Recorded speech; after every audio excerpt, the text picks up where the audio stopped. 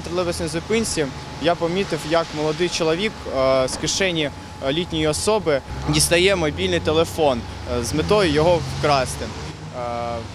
Після того, як я зробив йому зау- зауваження та схопив за руку, який він тримав вкрадений телефон, він почав причатися та переховуватися від мене.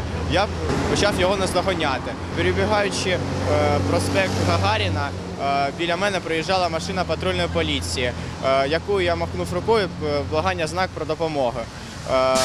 На що я надалі продовжу переслідувати цього молодого чоловіка. Він спустився до підземного переходу, на сходці якого підскользнувся. Я провів його затримання.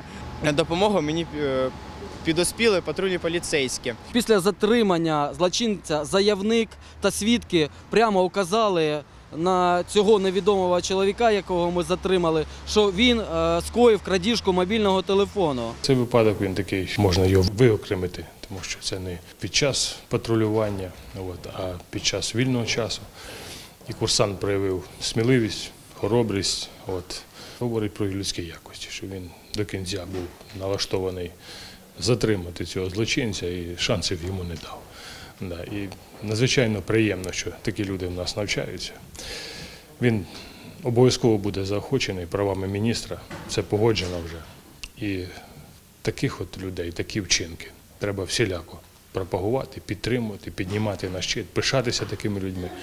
От якщо такі є люди сьогодні в навчальному закладі, завтра вони випустяться більш професійними, більш здібними, прийдуть до національної поліції, і ми точно злочинність поборемо і в Харкові, і в всій країні.